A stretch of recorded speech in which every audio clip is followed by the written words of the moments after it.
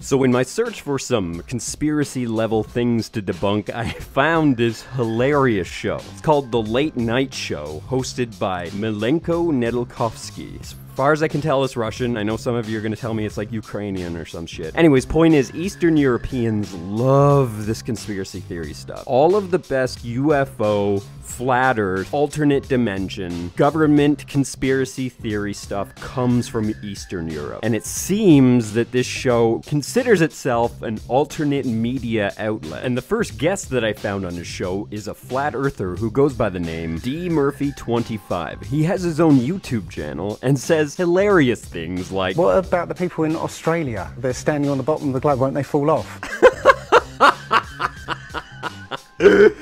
Ah, so we're in for quite the ride. a pilot is flying around the curve of the Earth, then it sh- he should be dipping the nose down. Every five minutes, he should be dipping the nose down to stay around the curve. Yeah, and who's to say that he's not? Planes have to make constant adjustments to stay level. Between wind, turbulence, and topographical changes, planes are constantly adjusting their pitch. But the thing that really got me interested was, as you say, the gyroscope. In a plane, there is a artificial horizon, and it's based on a gyroscope.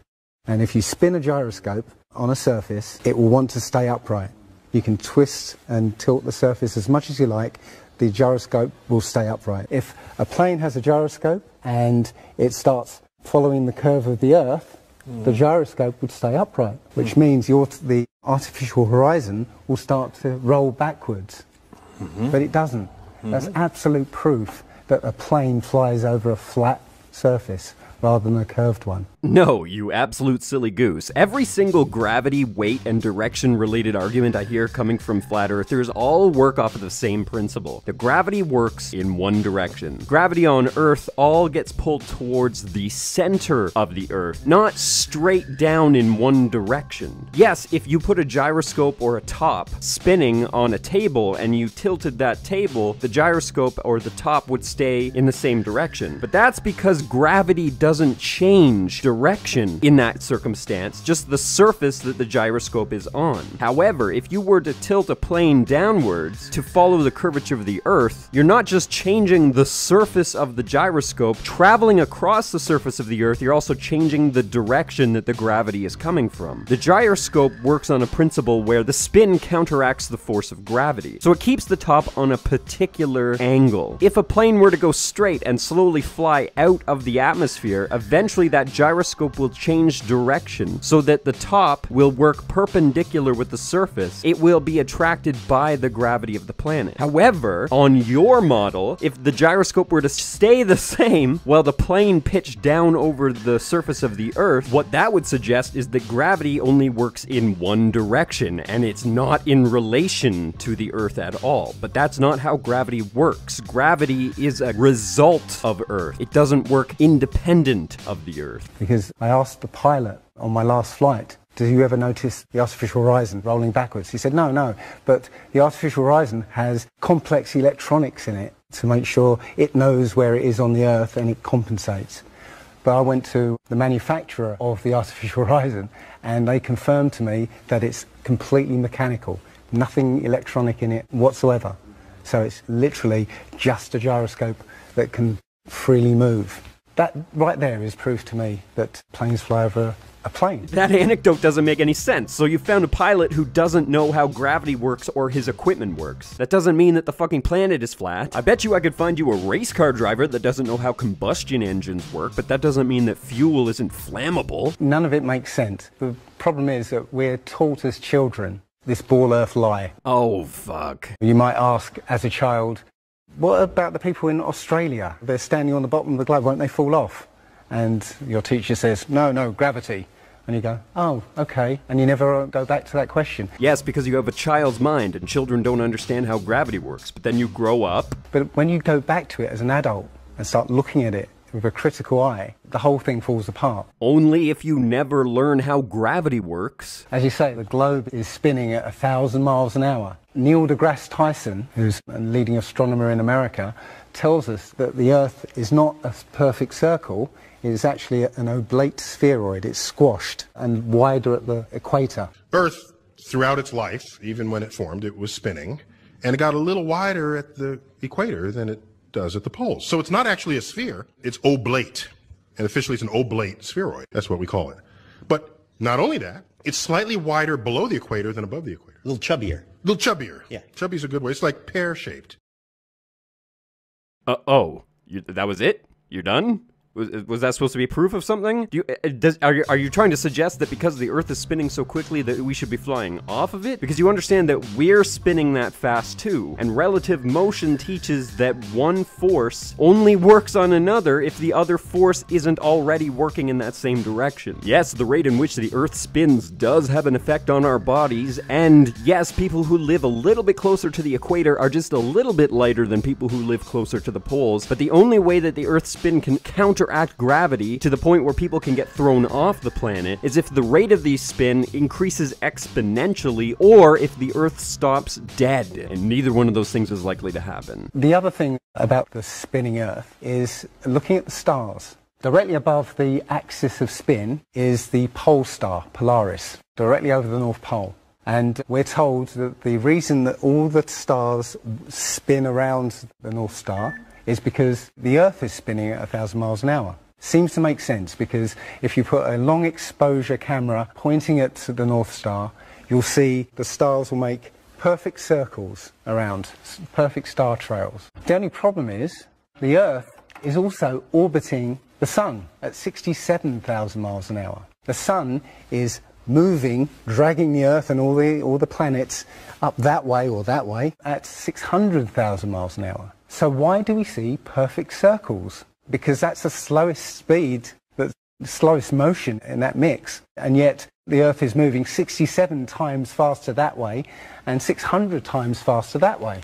So you should see the stars do all sorts of strange motions, but you don't. You only see them make these perfect circles. That tells me that it's the stars that are moving, not the Earth. Do you have any idea how far away those stars are? This is another one of those things that flat earthers tend to completely throw out of their equations. Polaris, for example, is somewhere between 350 and 450 light years away. They're not entirely sure. The point is, movements of celestial bodies in the sky are all relative to their distance from the Earth. The sun, for example, is so far away that if you walk from one side of the city to the other, you're not going to see the sun move from one side of the sky to the other because the sun is so far away. In that same way, moving a few thousand miles isn't going to change the position of a star in the sky because those stars are so far away. However, if you set up that same camera in the same spot pointing at the same point in the sky every single night for a year, then you're going to start noticing little deviations of where those stars are. One night is simply not long enough to notice the positions of stars great distances away from us changing. From our relative position in space, our spin seems much faster than the change in positions of stars in the distance. It took scientists thousands of years of stargazing to notice that stars actually move in the sky, and hundreds of years more to realize that they're moving a lot faster than the Earth is. I mean, one night is such a short period of time, it's like a photograph in the great span of the infinite universe. It's like looking at a photograph of your mom and saying, oh, look, my mom doesn't move because she's not moving in this photograph. The thing is, what, what the scientists will give you is calculations and theories why that happens. But we have experience. We see things and they either make sense or they don't make sense. What the scientists do is substitute our common sense and our intuition for calculations and theory, and we're supposed to believe the calculations rather than what we experience ourselves. Yes, because our observational skills and our intuition are a result of millions of years of evolution. We didn't evolve to understand the universe and physics, we evolved to understand and survive in our environment. It took the development of science, math, physics to better understand how the things around us work because they are counter to our intuition. For example, it took science to figure out how rainbows work. We didn't realize it was just white light being scattered into several different directions. In fact, the next thing he's about to talk about here is a perfect example of how our senses can fail us in just normal observation. There was a famous experiment back in the 1800s in England called the Bedford Levels experiment. The Bedford Levels is a canal that is perfectly straight for six miles. What a chap called Samuel Rowbotham did was he took a telescope, put it in the water, about eight inches above the water, and he had a friend in a rowboat with a flag on the back, row all the way to the other end. And he was able to see the flag on the back of the rowboat the whole distance. According to spherical trigonometry, the curve of the Earth is eight inches per mile squared. So over five miles, that's five times 525 times eight, which is 200 inches, which works out at 16 feet. That means the boat should have been 16 feet below the horizon. He shouldn't have been able to see the boat. The problem is that Samuel Rowbotham's experiment was hardly scientific. He didn't factor in any kind of variables, he didn't set up any kind of measurement tool to prove that the boat was still on the same plane. All he proved is that he could still see the boat, which really tells us very little. The scientists will say, oh, refraction and this and light bending around the earth and stuff. But the fact is, it's perfectly flat and in his book, he puts forward many, many arguments that show, many, many experiments that show the Earth is always perfectly flat. Exactly. It's a well known fact that light only travels in a straight line in a vacuum. You add in any other factors like gases, liquids, gravity, the light is going to change direction, sometimes only slightly and sometimes by a lot. Everybody knows that if you jab a stick into the water, that stick changes direction as soon as it crosses the surface. That's because light is refracting through that water. In the same way that light changes direction in water, it also changes direction in atmospheres. But of course, because an atmosphere is much more diluted than water, the change is much more gradual and slight. We have every reason to believe that Samuel Rowbotham actually knew about light refraction because that was something that land surveyors would factor into their calculations at the time. In fact, his experiment was set up specifically to capitalize on the way that light refracts. The colder and denser the air, air, the more it curves downwards. That means something that was, say, six miles away, the light from it would curve downwards back towards an observer, making the object appear several feet above where it actually is. A separate man, Alfred Russel Wallace, revisited this experiment but added in a way to measure the difference in an observation as it relates to distance. He set up three poles. He set up his telescope at the first pole. The second pole was three miles away, and the third pole was six miles away. And what he observed was that the pole that was closest to him actually appeared lower down than the pole that was furthest away from him, which appeared to be higher up, which is not only impossible on a round Earth, but is also impossible on a flat Earth. So what this suggests is that light can change direction over great distances. Boom, pont. They say that you see the mast go down last. It's literally just the way your vision works. It's perspective and atmospherics. Correct. It's the way your vision works. It's perspective and atmospherics. The limit of your vision is supposedly three miles. And then after three miles, you're supposed to see the, the boat start to go over the horizon. It's funny that Neil deGrasse Tyson again says, explains that you can't see the curvature of the Earth from a plane because you're not high enough. The Earth is so big that you can't get high enough to see the curvature. Yet, you can apparently see a boat go over the curvature, over the distance of three miles which doesn't make sense. Are, are you fucking kidding me? Yes, you can't see the actual physical curvature, but you witness the effects of it. I can't I can't see London from here because of the fucking curvature, but that doesn't mean I can actually see the cur- What? Is this a serious argument? Remember Lanky Larry, he could only see the horizon. His vision of the sphere was obstructed by the horizon. But if Lanky Larry was even taller, he could see both edges of the ball. And in that way he could see the curve of the earth. But somebody else who can see Lanky Larry's left foot may not be able to see his right foot because of the curvature. The thing is, when you look out and you see a boat start to go over the horizon, if you suddenly get a pair of binoculars and look, it comes back again. And once it goes out of the sight of your binoculars, if you get a telescope, it comes back again. It doesn't go over any curve of the horizon. One of the best examples of that is the Antwerp Notre Dame spire, which can be seen something like 240 kilometers away from the spire. So that should be over a mile below the horizon and you can still see it. There's a place in Bolivia called Salar de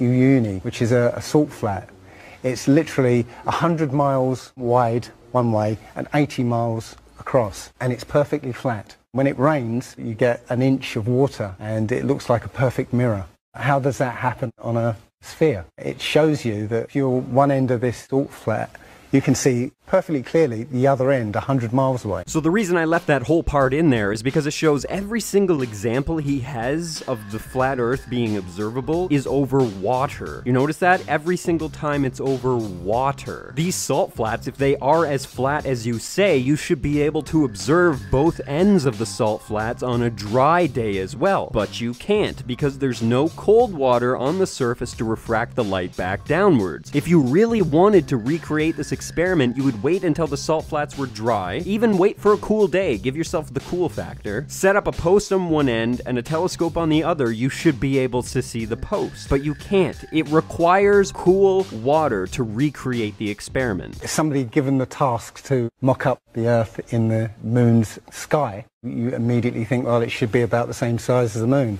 if you don't think about it, you, would make it the same size. So yeah, it's just a, a, a schoolboy mistake. I'm not entirely sure what he's rambling on about here, but it sounds like what he's saying is if you look at the Earth from the moon, the Earth appears the same size in the sky as the moon does if you look at it from the Earth. And I have no idea where he's fucking getting this from. If you go outside right now and take a photo of the moon with your cell phone all the way zoomed out, the moon's going to look like it's the size of a star. But if you can zoom in to the moon with a telephoto lens, you can make the moon look really, really big. It all depends on the lens and the perspective of the photographer. But I've taken the liberty of pairing up a couple photos here. The first one here is a photo of the Earth as it appears from the orbit of the moon, and the second one here is the moon as it appears from the orbit of the Earth. Now, if you match up the two celestial bodies in the foreground so that they appear the same size, you're going to notice a little bit of a discrepancy in the size of the celestial objects in the distance. However, if you match these two celestial objects up so that they're the proper proper sizes, relatively, I mean, I didn't measure them, you're gonna notice that the celestial objects in the foreground appear much different as it relates to their curvature. The Earth and the Moon do not appear the same size in each other's skies. That is just blatantly false. The other thing is, if you were to go to NASA